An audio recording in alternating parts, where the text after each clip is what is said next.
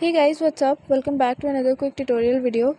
In this channel, we provide you with every possible solution to a specific problem.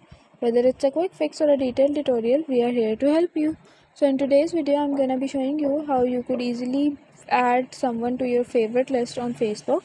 So without any further delay, let's get started. First of all, what you have to do is to simply open up your Facebook mobile application. Once you are on the Facebook, what you have to do is to simply find out that particular profile which you want to add to favorite for example if i'll scroll down and basically like so if this is the profile i want to favorite i'll tap on that. There you'll get the option of like so simply tap on that. And after that you have to tap on like three little dots over here. You'll get the following button simply tap on that.